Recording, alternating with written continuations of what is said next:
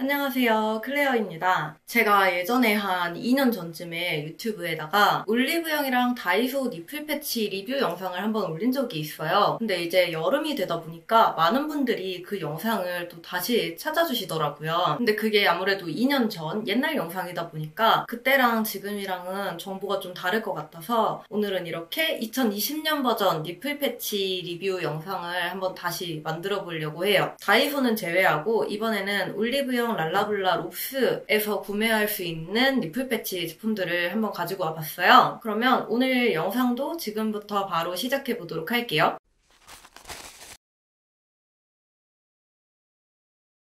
제가 얼마 전에 그 강남역에 가서 올리브영 랄라블라 롭스를 돌면서 nipple patch를 이렇게 총 4가지 종류를 구매를 해왔어요. 이번에는 다 이런 스티커 타입 제품들만 구매를 해봤는데 이런 스티커 타입 제품들은 피부가 굉장히 민감하신 분들은 떼어낼 때 많이 아프거나 가려움증 이런 게 올라올 수도 있어요. 그래서 그런 분들은 이런 실리콘 타입을 사용하시는 게 좀 더 좋을 수도 있는데 이 실리콘 타입도 영상 마지막 부분에 살짝 얘기하도록 할게요. 그러면 제가 구매해온 이 제품들 중에서 가장 많이 볼 수 있는 올리브영 제품들부터 시작을 해볼게요. 올리브영에서는 이렇게 두 개를 구매를 했는데 이거는 사실 남성용이에요. 그래서 살까 말까 고민을 하다가 그래도 한번 구매해서 써보자 해가지고 구매를 한 거고 이게 여성용입니다. 사실 이 남성용 제품은 저는 여성분들한테는 정말 추천하고 싶지 않기 때문에 빨리 얘기하고 빨리 넘어갈게요. 얘는 XTM nipple 밴드라고 써져 있는 제품이고 재질은 PVC aqua 밴드 있죠. 그런 그런 매끈매끈한 방수가 약간 될 것 같아요. 같은 그런 재질이에요. 그래서 얘는 8세트에 4,000원이었고 특이한 게 이런 완전 투명한 타입이에요. 그리고 밀착력이 엄청나게 좋고 접착력도 엄청나게 좋고 굉장히 진짜 딱 달라붙는 그런 타입인데 사이즈 자체가 굉장히 작아요. 이게 일반적인 여성용 nipple patch 크기라고 한다면 확실히 사이즈가 엄청 작은 걸 확인할 수가 있어요. 그래서 일단은 커버가 제대로 되지 않고 또 굉장히 얇은 재질이다 보니까 더 커버가 안 되는 것도 있고 뗄 때 정...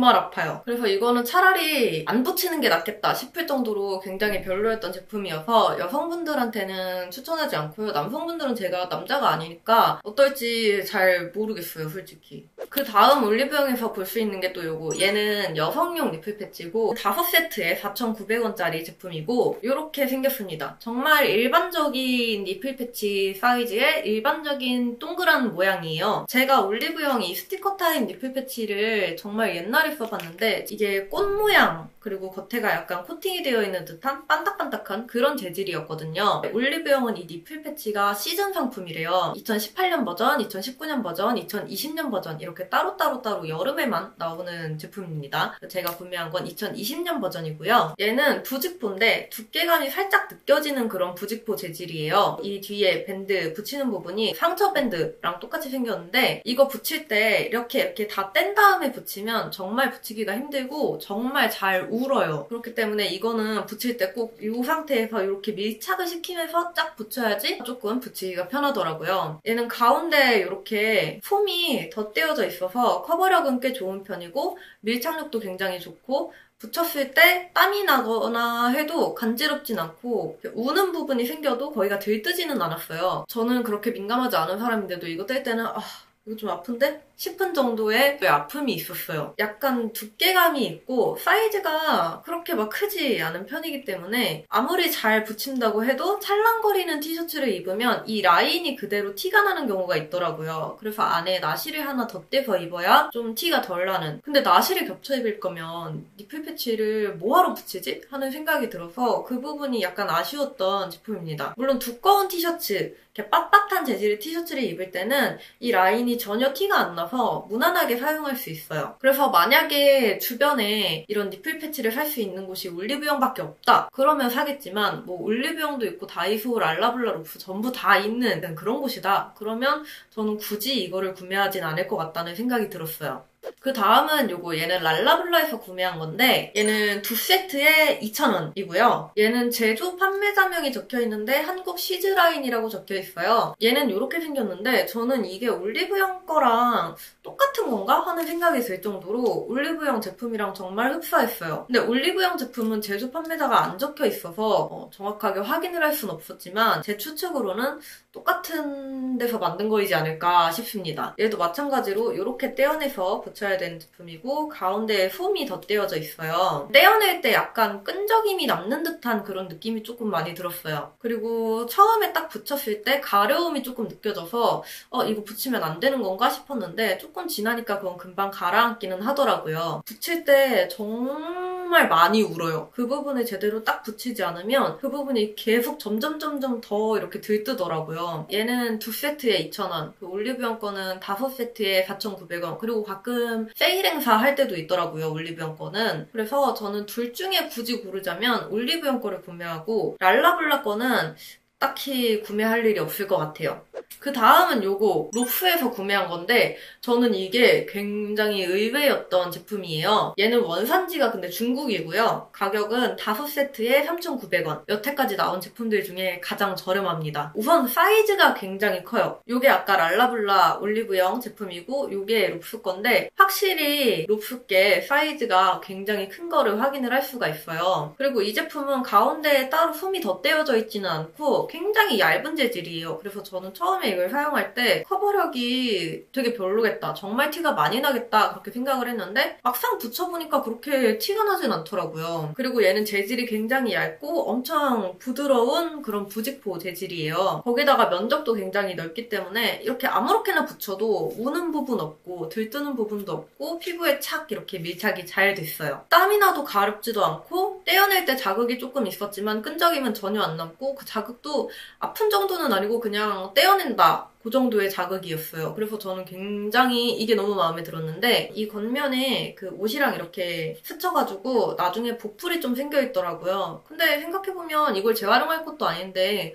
불이 큰 문제는 아닌 것 같고 이 떼어내는 부분이 지금도 이렇게 보이는데 제대로 잘 안 떼져요. 뗄 때 조금 신경을 써가지고 잘 떼야 되는 게 그게 약간 단점인데 다른 모든 장점들이 이 단점 정도는 커버할 수 있다고 생각해서 계속 구매할 생각이 있어요.